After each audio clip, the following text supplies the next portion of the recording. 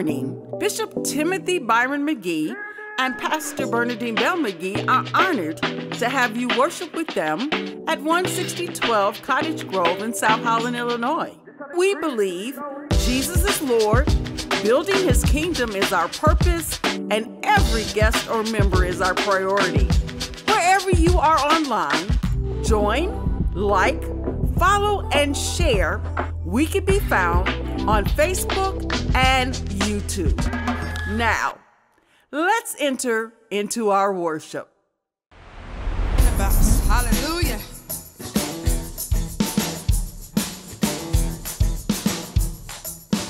Here we go. Yeah, we say, I am not forgotten.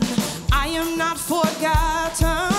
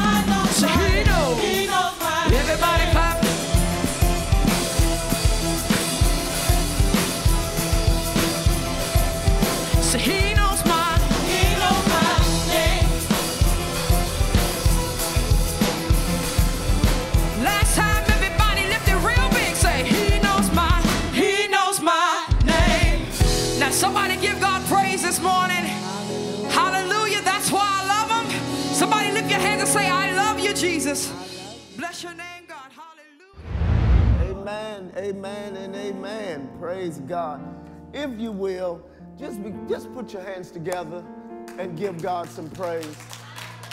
Hallelujah. Blessed be the name of the Lord. Father, we truly thank you and we praise you for today, for all that you've done, just waking us up, giving us life and strength. We thank you for what you're going today. We just give ourselves to you. Move in this place. In the name of Jesus, have your way, Holy Spirit. Do what only you can do. What only you can do. And we thank you and we praise you for it forever and ever. Amen. Amen. Hallelujah. Praise God. Bless the name of Jesus. Well, you may be seated in his presence. The Lord is good. The Lord is good. All right, get your Bibles. We're going to get right into the word of the Lord. And I've been instructed to hurry up, so. Hallelujah. Hallelujah. Amen. Our scripture, oh boy, it's so much Holy Spirit been, has been giving me. I'm just going to share with you as much as I can. This one is God is really trying to get us into the now manifestation. The now manifestation. And I'm going to explain that and t- because my assignment is to help build our faith where we can take what we get in here out there and work it in our everyday life. Amen. Spirituality is not good if it only works in church. The Word of God is not good if it only works in here. I want to know how to take it out there and face my everyday situations that I'm dealing with. When I feel like something else, or when I feel like getting in the flesh, or whatever, I want to know what does the word say? I want that word. See, now, if you don't plant it in you, it won't come up out of you when it's time you need it. That's why David said, hide the word in your heart. Now that means more than just memorizing it. Come on, y'all. That means more than just reading it, though it's got to start with reading. Amen. Now, now, now I know the scripture says study to show yourself approved, but you got to start with reading it. And let's not confuse information with revelation because it's different. See, see, when the scripture says in Hosea that the people perish for lack of knowledge, it never said they didn't know it. The very next verse, that's why you got to read above it and be- be- below it. The very next verse said, they had knowledge, but they did not apply it. So, knowledge that you don't apply leads to destruction. Hmm? So we gotta we gotta work what we know. We gotta act upon it.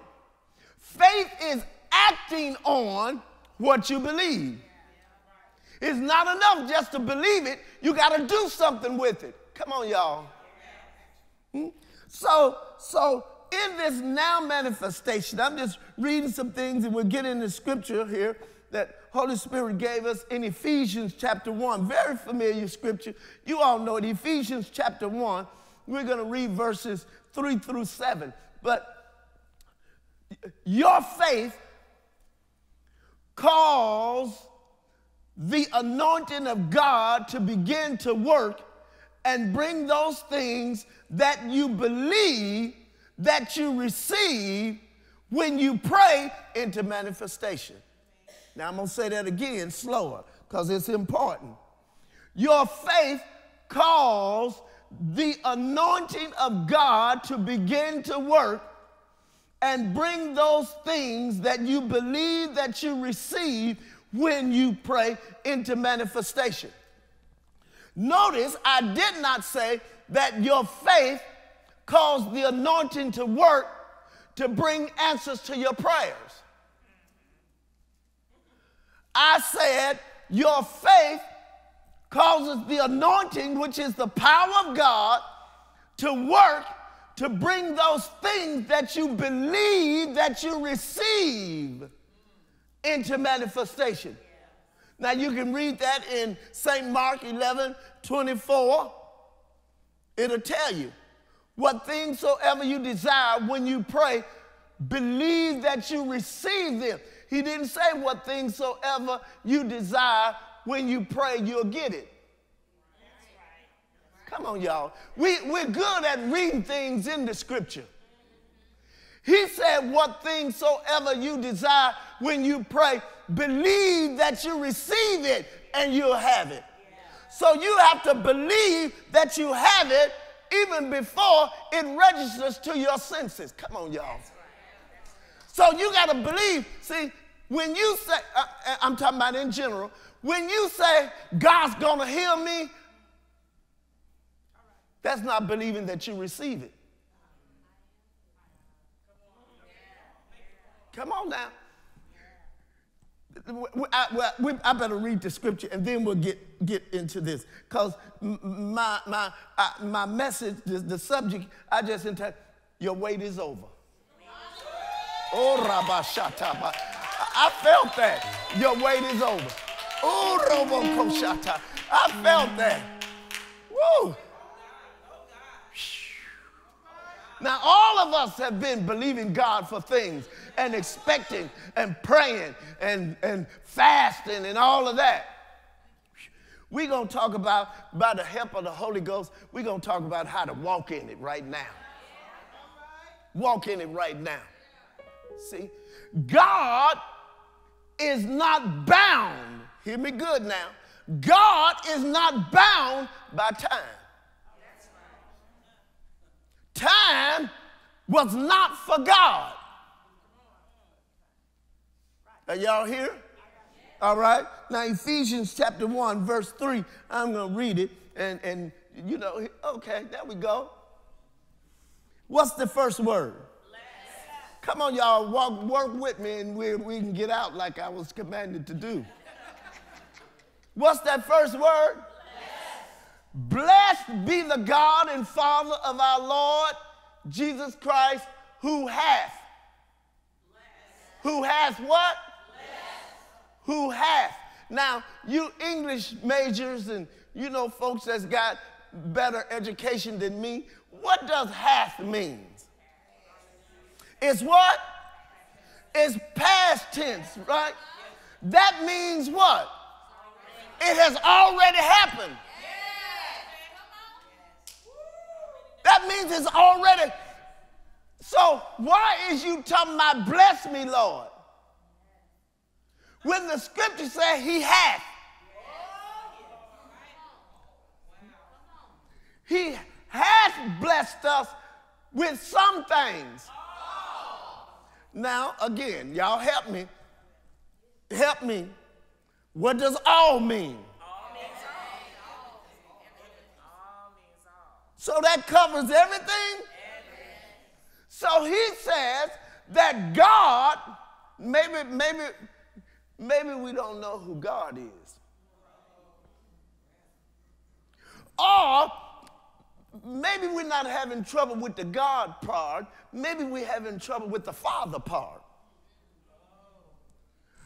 I believe that one of the problems or the downfalls of the church, born again believers, is we know him as God, but we don't know him as Father. Do you not know that Jesus made a statement in in St. John 17, I think it's St. John 17, 20. I'm sorry, I'm, I'm working you today back there. If, if you can pull that up and we'll go back to this here. Can I just work this here? Just can I just can I just flow in the Holy Ghost here? Then St. John, if you can pull up St. John 17, 23. Look at, then Jesus said, I in them, thou in me, that they may be made perfect in one, and that the world may know that, that thou hast sent me and has loved them as thou hast loved me. I want you to focus on that. And love them as thou hast loved me. I want you to focus on that. Has loved them as thou hast loved me. Y'all get that? Okay, well, just in case you didn't, Jesus is telling you that the Father God loves you just like the same way he loved me. He don't love you no more than he loved me. Jesus said the Father God loves you to the same degree that he loves me. So God doesn't love Jesus any more than he loved you. Oh Lord, God give help us. You see, he says, and has loved me as thou loved them as thou hast loved me. So God loves you to the same degree that he loved Jesus. Now I know, I know it takes the Holy Ghost to reveal stuff to help us with this because that's just far out. The natural man can't grasp onto that. Do you mean to tell me that God loves Jesus? People say his only begotten son. Did you not know that Jesus is no longer the only begotten son?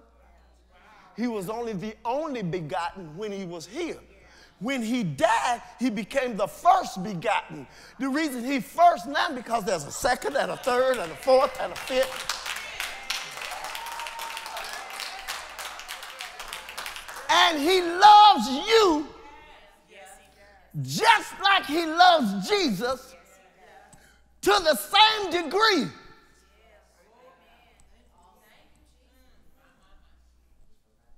And this God, who is my Father, you know, when people say, they, you know, people say this when they're praying, they say, I pray, you know, God of Abraham, Isaac, and Jacob. When I say that, I say, God of Abraham, Isaac, Jacob, and Willis.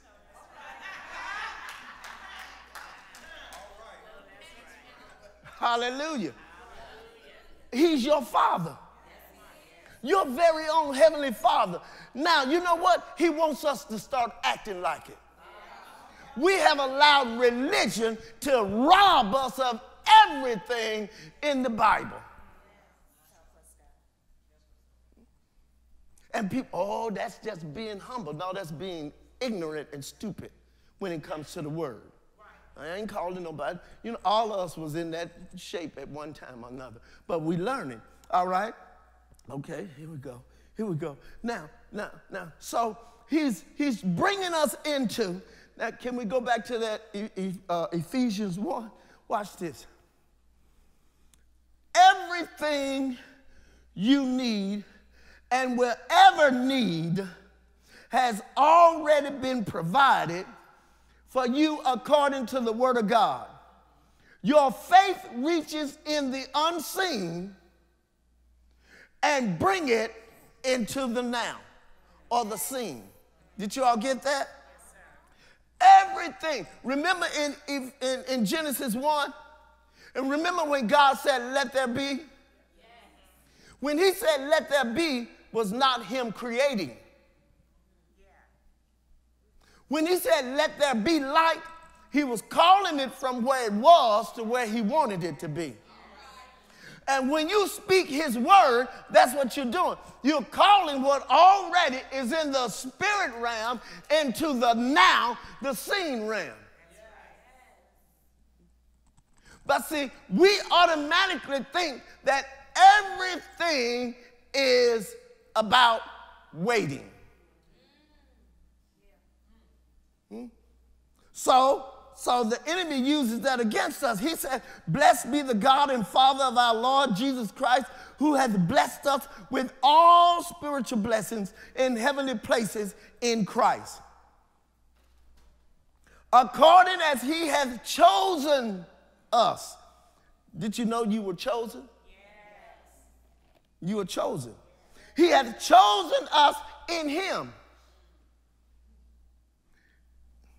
Now I'm getting ready to really bust your religious bubble. He didn't choose you when you got saved. The Bible says he chose you before the foundation of the world. We think Jesus died on the cross of Calvary.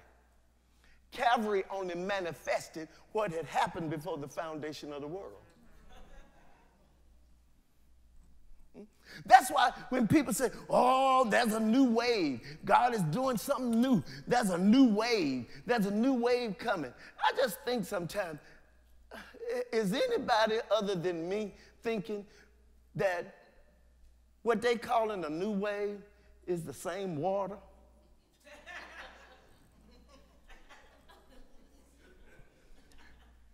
It's the same water that's coming on the beach. Now, when they say that, people say what they mean when they say it. God is doing something new, but the mistake that we make is we think we throw away or stop what we already have and just pick up what is going on now. But now, this is a, my example a train. You got the, you know, the, the what, the engine, the, the, and then they got the, the, the carts, right? And then the caboose. That ain't gonna be put on until Jesus return. Every, the new things are actually, is only a manifestation of prophecy. What we call the new things is a manifestation of prophecy that came forth. All we do is we connect what he is saying now onto what he did say. And that's how we're getting down the tracks. But if you throw away what you already have, see? All right, so he says we've been blessed with all spiritual blessings in heavenly places in Christ Jesus. Yeah. For we are chosen. He said, he said, we've been, now, I really want to bring this out. Hold on a minute. Yeah. Uh, we've been chosen before the foundation of the world that we should be holy and without blame before him in love, having predestinated us. He predetermined, predestined, he predetermined God decided whatever He decided about you before you got here to, to live in it. You were, everything that has to do with your life has been pre ordered. You know how you place an order and they say, place your order. You know, you, you can pre order this so that when it comes out, you'll get it even if other folk don't be able to get it, right? Pre, predetermined. So you've been pre-ordered. Everything you will ever need. Sister, your heart was pre-ordered, child. Now, watch this. Your heart was pre-ordered before the other one ever went bad. Robo shatabaha. Oh, I felt that one. God does not wait until we get in situations to rescue us. God, woo!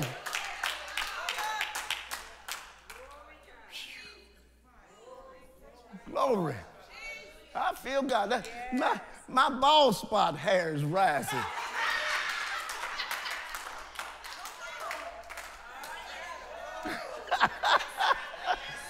Glory to God.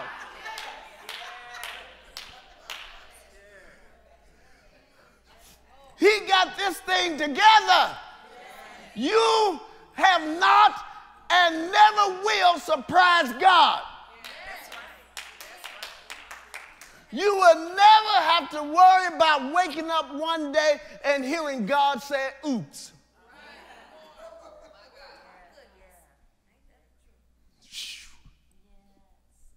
Whatever you need, whether it's physical, spiritual, financial, what mental, social, emotionally, whatever you need, it has already been provided for you. All you got to do is, it's like if I come and I, I got a gift for you and I give her, what, what, what, what you got to do? It is just that simple. You got to receive it. You first got to know by faith that it's for you. Because the devil will tell you you don't deserve it. Good. Because it's not based on your goodness. It ain't for you.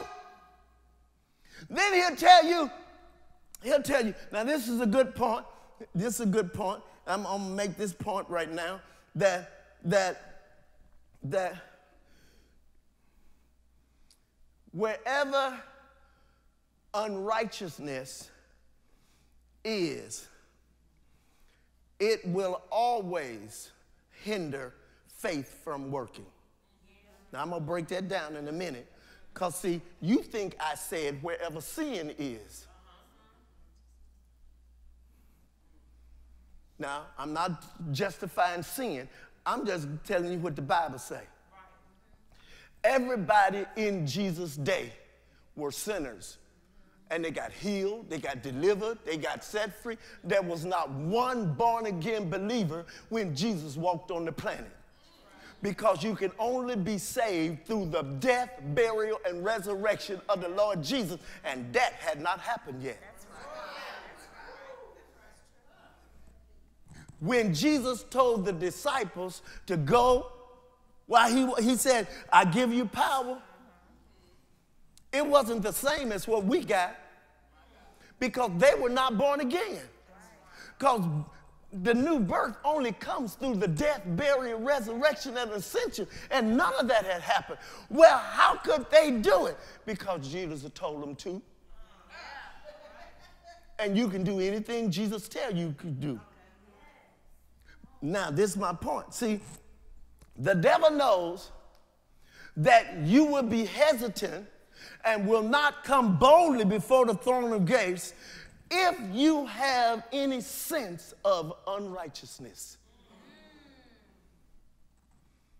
Because he's gonna make you feel guilty, he's gonna condemn you, and that's why he tries his best to keep your past alive to you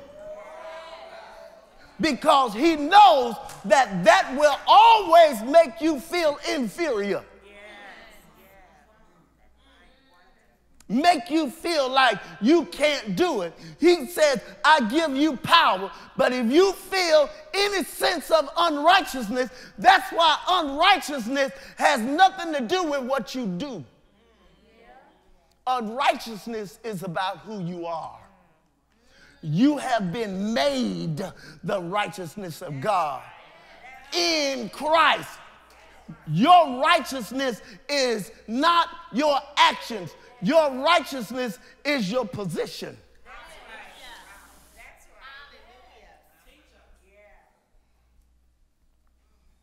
And that's what we need to always be conscious of. Because if we're not, the devil will always take advantage of you. And that's why a lot of times, not all the time, but a lot of times, people don't get that manifestation because they're dealing with stuff that happened years ago. And the devil keeps you bound with guilt and condemnation about stuff that you can't do nothing about. You can't go back and change it. All of us done did some crazy stuff. All of us got regrets. All of us have wishes and if I woulda, woulda, coulda, shoulda, and all, all of us. But what can you do about it but put it under the blood?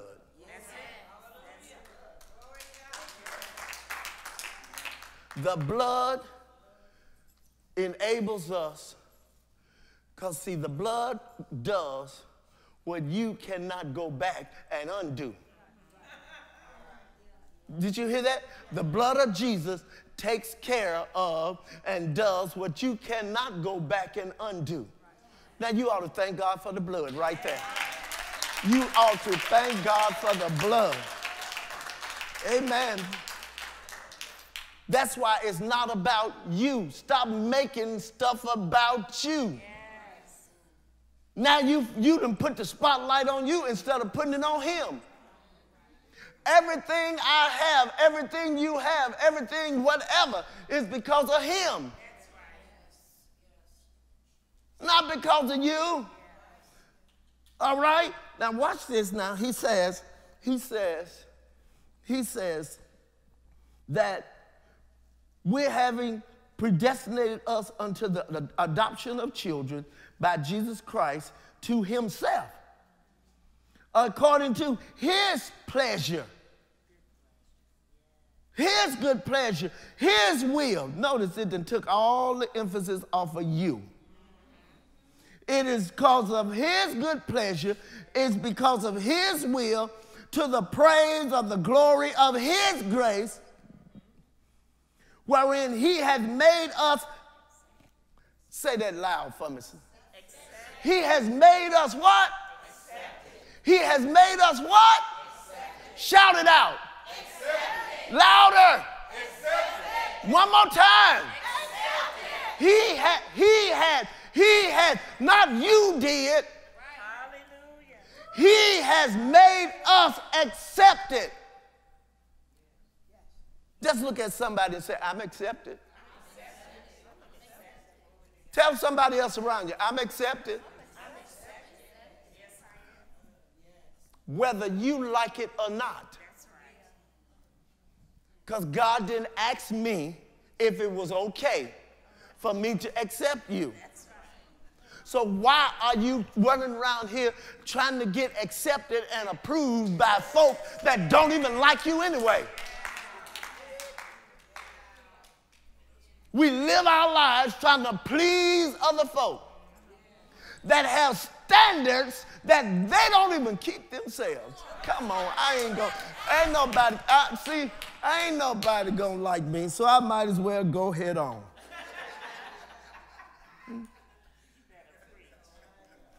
He has accepted us in the beloved. Oh, now you really in whom we still talking about in him now. In whom, in Christ, in whom we have what? Redemption, redemption through what? We have redemption through his blood. Say, I am redeemed. Whether I feel like it, whether I look like it, I am redeemed. Period.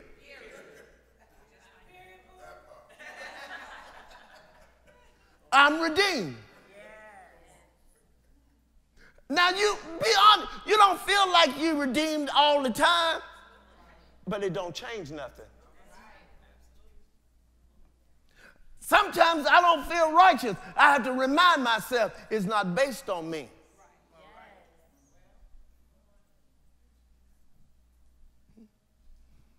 Sometimes I have I wrestle and fight through doubts just like everybody else. And I have to remind myself it's Christ Jesus. In Him. In Him we have redemption through His blood. Now, what's the next thing? Say that loud. Louder. Louder. So, if we are redeemed and forgiven, why is it that our altars are filled with born again believers trying to get what they already got. You can, we can call an altar call in our church and it's packed with saved folk. Still trying to get over what God has already forgiven them of how many years ago? Come on, y'all. And the devil, he knows that if I can keep them doubting what the word of God say, when they need something, they're not going to be able to receive it because they're going to have problems thinking that they got a right to it. Because you base what you get from God on how good you are. Okay, well, I'm going to say it a different way. That, uh, that, that good might have messed with you a little bit, but I'm going to use one of your words. You think you deserve what you get from God because you holy. Now that did something different, didn't it? Uh-huh. Cause oh no, ain't no goodness in me. Yeah, you think you got it because you're holy. Now, I'm not saying you, we're not supposed to be holy, so don't nobody say, oh, Pastor Collins said we don't have to be holy. Now, that ain't the truth. That's not the truth. You cannot base whatever you get or need on your holiness. Because no matter how holy you are or think you are, is still as filthy rags. Because your holiness should be in Him. And not in the fact that you don't lie, cheat, smoke, sn- dip, snuff, or whatever. I know y'all probably don't even know what that is.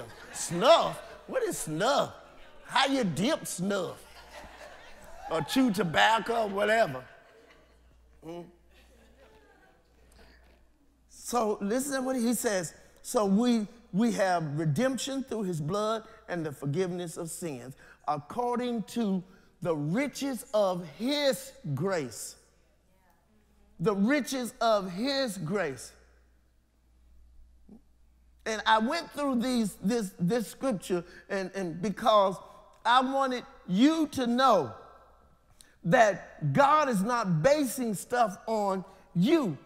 Everything we get, He gives it to us because of what Jesus Christ has done. Because of what Jesus Christ has done.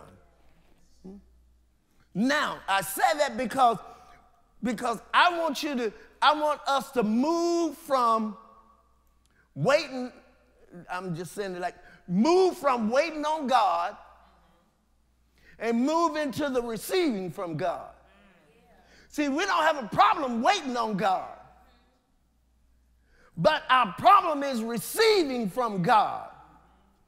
Because again, we have all of these things, hindrances, that, that tells us that we're not really deserving.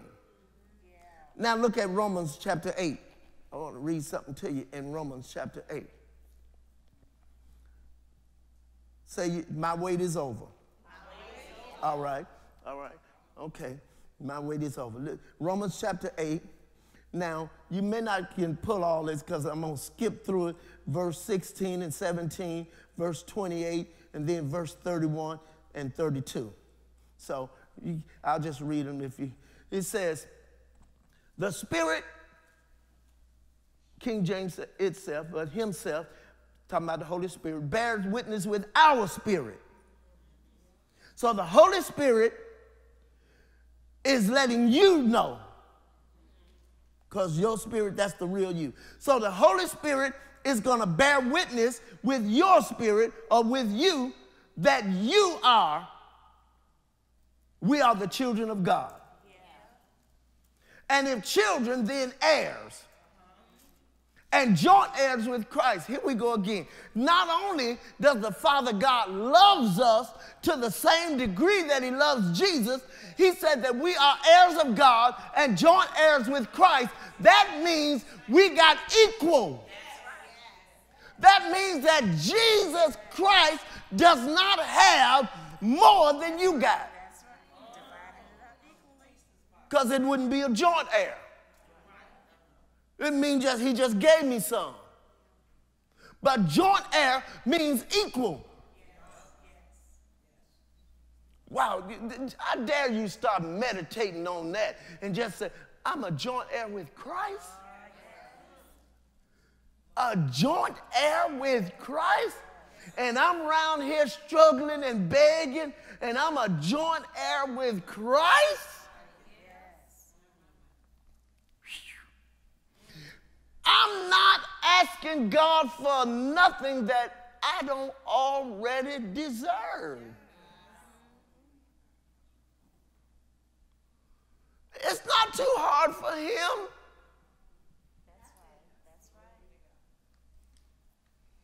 No matter what it is you need, Jesus provided it. Do you not know when you read the scriptures, you find out that salvation and healing goes together? There's no such thing as I can get saved, but I can't live healthy. Not according to the word. Now I'm gonna show you. Now you don't have to pull it, I'm just gonna quote this here. And, and, and you show you how salvation, when you get saved, health is yours. Now, that means that you don't have to beg God for it. You don't have to earn it. They, they together. Just like now, Psalms 103, we all know that. Bless the Lord, O my soul, and all that is within me. Bless his holy name. Bless the Lord, O my soul, and forget not his benefit, who forgiveth all my iniquities and healeth all my diseases. See how they work together? Now, now for your, those of you that said that's the Old Testament, I'm going I'm to help you. Remember in James chapter 5? James chapter 5 says, If any sick among you, do you not know that is a question? That's actually in the original, that's a question that he's asking. Is any sick among you? Because there should not be in the church. So he says, Is any sick among you? He says, Now if it is, call for the elders of the church and let them come anointing them with oil. Then he says, and the prayer of faith will save the sick. Y'all ready? And if they have committed sin, they'll be forgiven.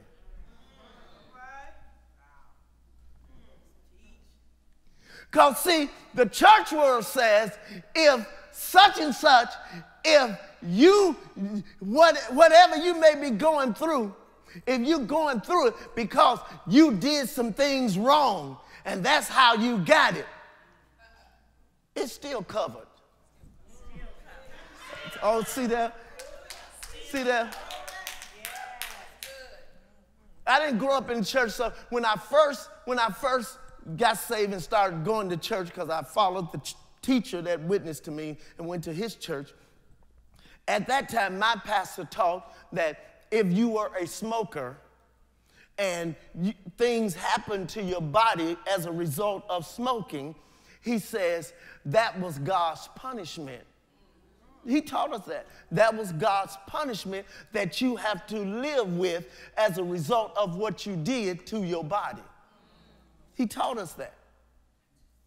But I'm glad I got a little more sense now and learned a few more things.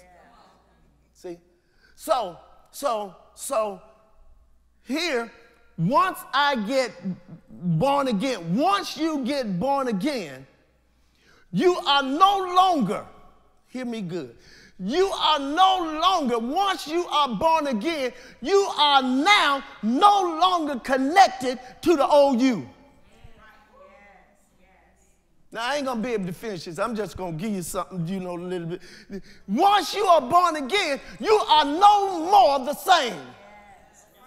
You are a new creature in Christ. Now you got a new DNA.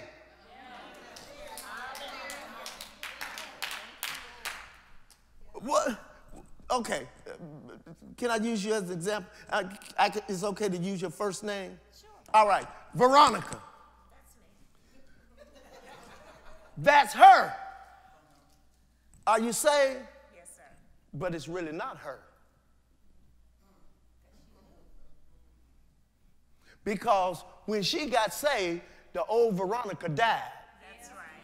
That's right. Now she's a new creature in Christ Jesus, just like you are.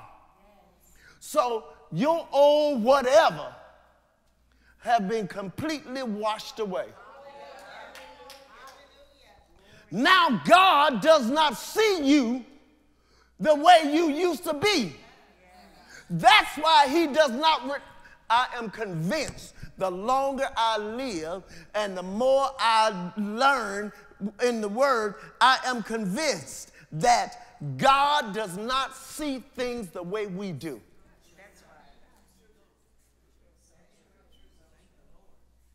And a lot of what we say, come on, y'all. A lot of what we say, I'm, I'm about to close. A lot of what we say is religious teaching. Something we heard from somebody that heard something from somebody that heard something from somebody that heard something from somebody that heard something from somebody and preached it in the pulpit as if it was Bible. And what we did, a lot of we we that's why doctrine is important, hear me good, and dangerous. I'm gonna say that that's why doctrine is important and dangerous. Because it seems like when people come to church, they leave their brain at home. And people think that when you come to church, you're not supposed to think. That's how people have controlled us through religion for years. Because we were told that whatever comes across here, you're supposed to take it and believe it no matter what. Because I said it. Mistake, mistake, mistake. What does the Bible say? What does the Word say? Faith begins where the will of God is known, and the will of God is known through the Word. Through the Word. Okay, are you okay? Let me just read. I'm, not gonna be. I'm just give you. Let me just finish reading this Romans 8, and I'm skipping through here. He says that this spirit bears with the Holy Spirit bears witness with our spirit that we are the children of God. And if heirs, then heirs of God and joint heirs with Christ, if so be that we suffer with him, that we may be also glorified together. And we know that all things work together for good to them that love God and to them who are the called according to his purpose. What shall we say then? If God be for us, who can be against us? He that spared not, now this, this is really the scripture that I was getting to. Get this. He that spared not his own son, but delivered him up for us all, how shall he not with him also freely give us all things? If God did not hold back Jesus, why would he hold back healing? Why would he hold back blessing financially? Why would he hold back emotional, uh, uh, whatever it is that you need? Why would he hold that back if he didn't hold the most precious thing that he had? Hmm? So just, it's mine. Say that, it's mine. And I want it now.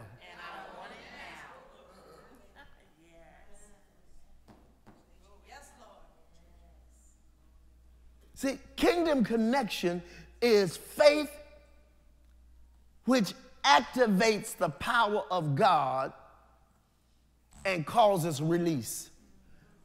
Thank you, Sister Tiff Joy, for, this, for the song release, because that's what God is doing. But you, you got to take it. You got to take it. Know that you deserve it. Not because of how good or whatever, but because of Him. You're not saved because you was good. That's right. That's right. You're saved because you asked Him to save you and received it, right? You do the same thing with all the other stuff that has to do with the kingdom. All the other stuff. You do the same thing. Second Peter, you don't have to read, just Second Peter 1 through 4 says that he has given us all things that pertain unto life and godliness.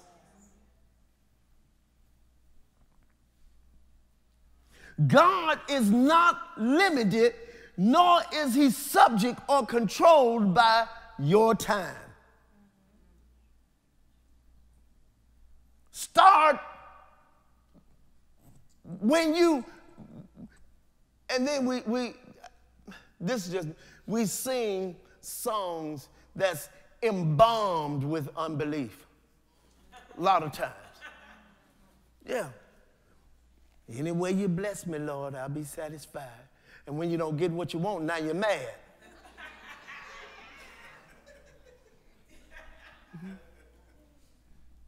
come by here, Lord, come by here. He said,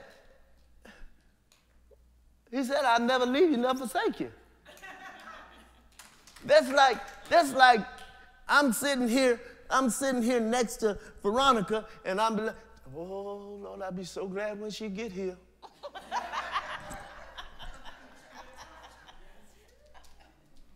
yeah. So, so, so we limit God, but God is not limited and controlled by our time. He's eternal. He exists in the eternal. Faith gets us out of the yesterday. Hmm. I said, faith gets us out of the yesterday and the tomorrow and places us into the now where the eternal, eternal God lives. Mm. Remember the man at the pool, 38 years, waiting? When Jesus uh, came to him, it's like Jesus said, first he said, Well, what do you, what do you need? When the, when, the, when the man told Jesus what he need, Jesus said, Okay, well, get up then. Because what he needed was present with him. Oh, y'all, did y'all get that? I said what he needed was present. He thought he needed somebody to help him in the pool. But the help was present with him. Now, your help is present with you.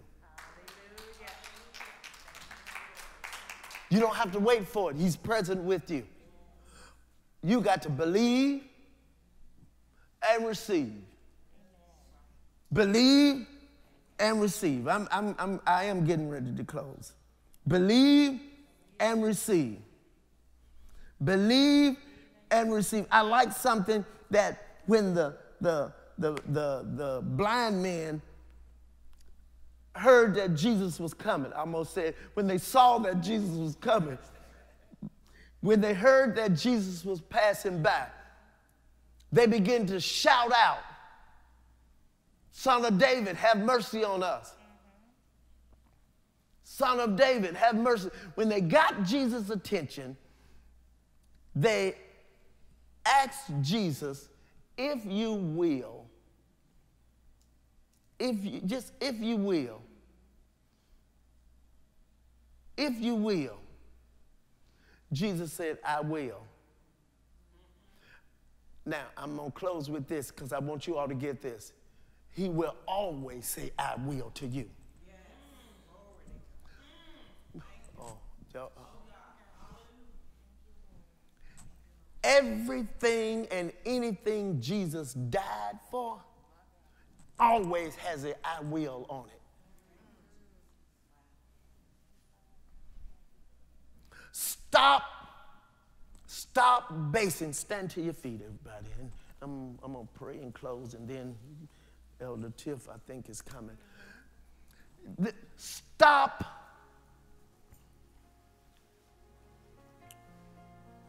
looking to yourself when you need from God. When you need, whether it's healing, whatever it may be, look to the one that has it, that has provided it.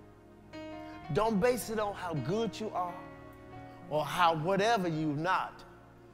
No, base it on what he has done. Jesus said, healing is the children's bread. Healing is the children's bread. That means that you have a right to it. It's been prepared for you. Whatever you need. And Father, I just take this time out right now to pray.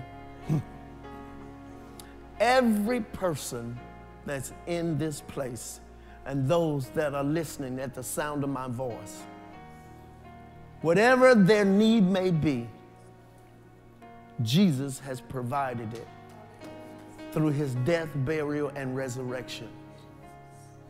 And I pray that each person will receive what Jesus has provided.